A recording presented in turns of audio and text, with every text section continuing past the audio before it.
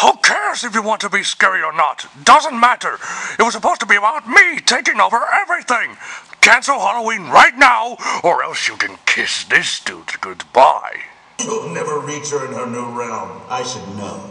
I rotted there for eons.